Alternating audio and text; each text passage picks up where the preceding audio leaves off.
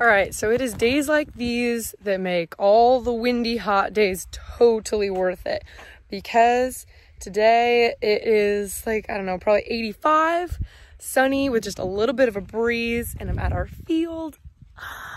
Oh, you guys. Oh, you guys, just look at it. Look at this green. My goodness, it's gorgeous. So I'm standing in, here's the dividing line between the test plot and the commercial corn and you can really tell.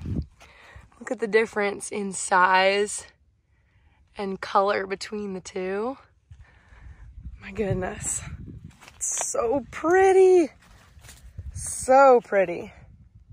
All right so you are propped up on a corn plant right now. Here's a little perspective for how tall the corn is. So it's like right right above my hip all right, so I don't know if you've ever laid down in the middle of a corn row, but seriously, it's like one of the most peaceful things ever. It's gorgeous.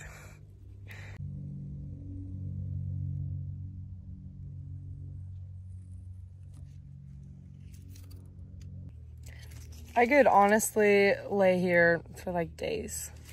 It's quiet and there's no wind. Kind of shaded, but a little bit of sun, it's warm yeah, this is this is the life right here.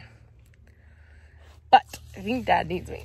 Honestly, don't lose sunglasses. Unfortunately, I don't think I can stay here. Come back later to rest, take a little nap.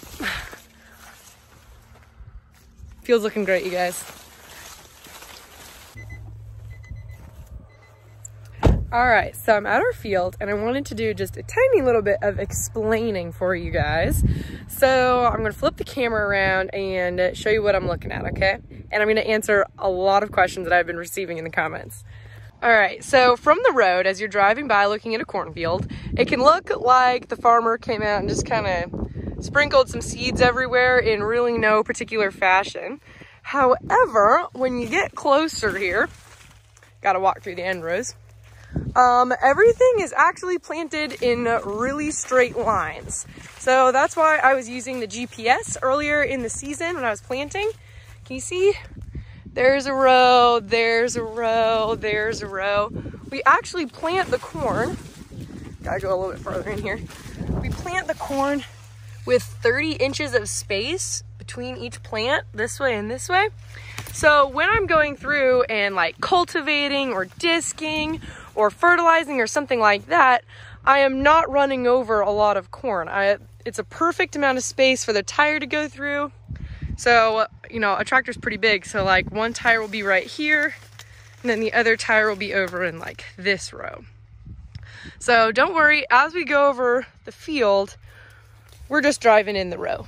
We're not actually driving over corn. It's still early enough in the morning that the corn has dew on it, so my legs get all wet from walking through the field.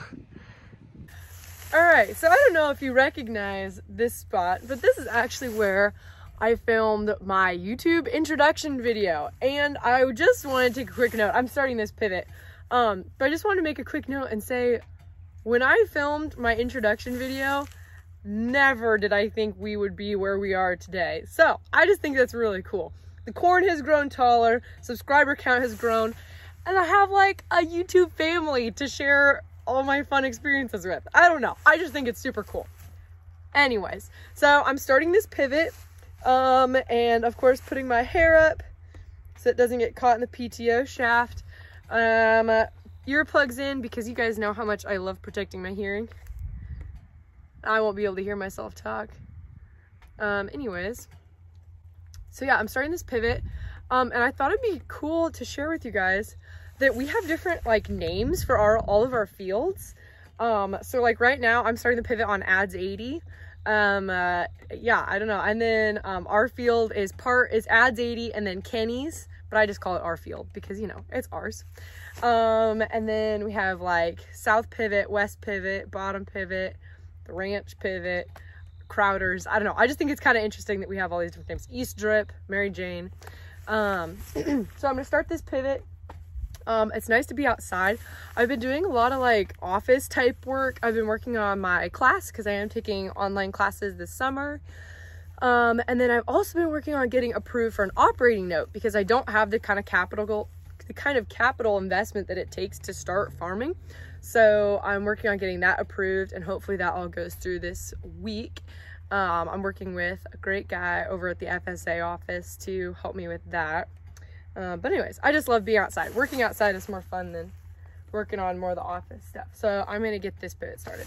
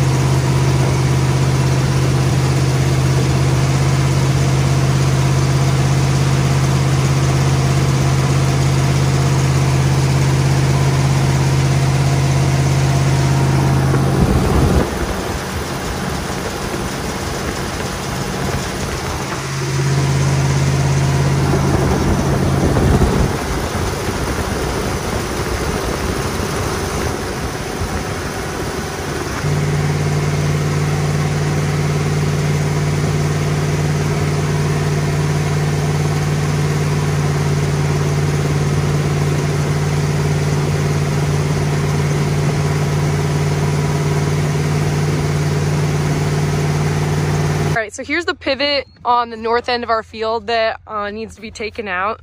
But underneath it, we have a ton of milkweed blooming. And pretty soon we're gonna be seeing a lot of butterflies around here, which is awesome. I love seeing that. All right, so I wanted to show you guys how much has dried up over our field. So if you remember a couple of videos ago, all of this was water, all of it. We had a lake, a nice little beach, uh, so now the water is back in the pond, uh, which we're probably going to fill in uh, this fall. Um, but the replant is looking really good. If you look kind of across the field, you can see green starting to come up, uh, where we had such a nice neighbor come and help me replant. Um, Dad put in a little bit of beans right here. Those were later. And then all that is corn right there. Looking good. Need to get these logs out of here. I wish I could share with you guys what it smelled like out here, which I know sounds kind of weird to say, but it smells like after it just rains, you know, like that really cool smell mixed with like a little bit of like cool dirt. Um, and then there's a little bit of a breeze, but it's kind of warm outside and it just smells like green and blue. I don't know if that makes any sense, it's just refreshing and like, I don't know. So calming, which I don't know. That sounds weird. Maybe this is weird. I don't know. It smells really good out here. I wish you guys could know what it smells like. I hope you guys don't think that's totally creepy. All right, you guys, I drove so fast that I could show you. Um, oh man, I'm too far away. Anyways, these planes fly so low to the ground. This was like the, one of the great joys of my childhood was watching spray planes over fields. Oh man. I'll try and get a little bit closer. All right, you guys, I got closer. I don't know if you can see. Here we go. There he is spraying. He's coming right towards us. Look at how low compared to the pivot he is.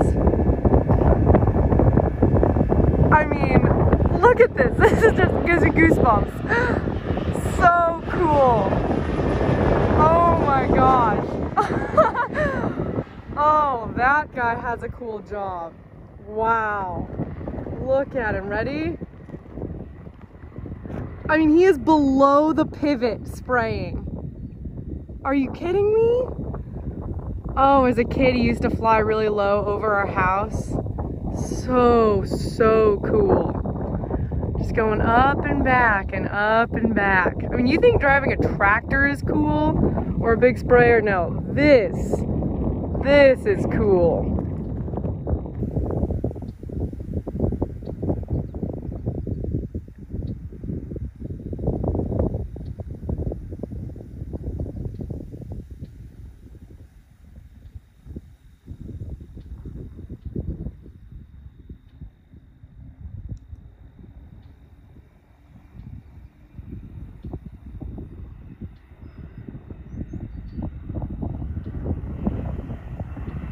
There he goes, flying back home. Refill. Man.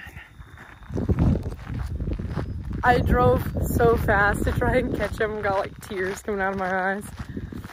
That was so cool. So worth it. Love the spray plants. All right, so if you watch the live, you will notice that this is the same people we had out doing our well work today. Hi, Grant. Oh, Here's a little update on the truck. Grant, what condition is she in? Uh, moderate. Moderate.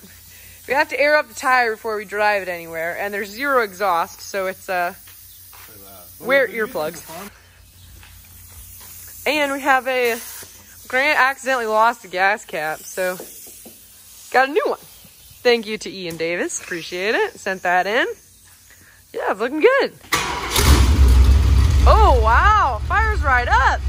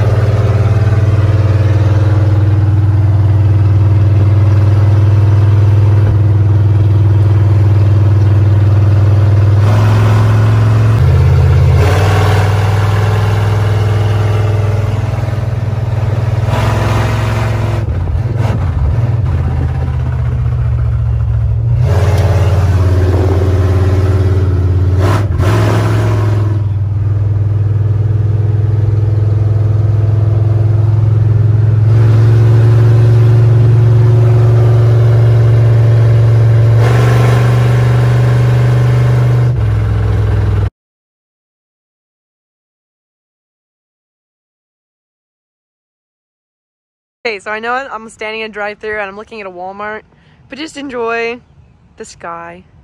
it's literally gorgeous. Are you kidding me? You cannot beat Nebraska sunsets. So, so pretty.